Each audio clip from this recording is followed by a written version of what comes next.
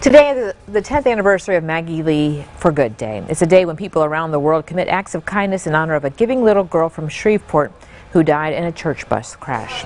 special day takes place on Maggie Lee Henson's birthday, October 29th. Today, people dropped off toy donations at Rhino Coffee for Maggie Lee's Christmas tree. Those toys will be given to children in need. It's just incredible, very sweet. I know she looks down and, and must smile. How it has um, grown since then and the generosity of all the people in this area, all over the world, really. It's amazing, very gratifying. Tens of thousands of people have participated since 2009. People have dug water wells in Africa, built a home in Haiti, delivered food to the poor in Chicago, Los Angeles, and Paris, all in honor of Maggie Lee.